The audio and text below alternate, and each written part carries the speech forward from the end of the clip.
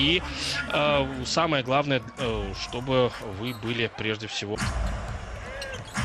Бейзмар, как вы видите, не попад младшего. И э, вот э, если есть Тим Хардвей младший, то, наверное, э, не стоит э, э, не стоит даже думать про Майк Скотта, который набирает в среднем 3 очка. Банты. И сейчас Ленард с мячом.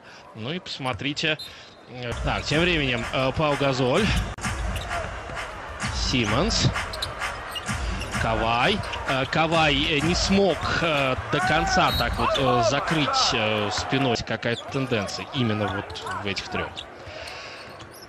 Сейчас Тони Паркер с мячом э, начинает нападение Сан-Антонио. Обратите внимание, что э, стартовый состав плюс, то есть уходят э, возрастные игроки, и приходят возрастные. Вот тот, тот же самый Пау Газоль, тот, тот же самый Олдрич, которому уже в общем, 30, да, и продолжают дальше против друг друга играть.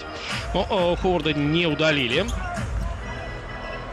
Ленард э, и Хардуэй. Так, сейчас э, Дэнни Грин. Кавай Ленард.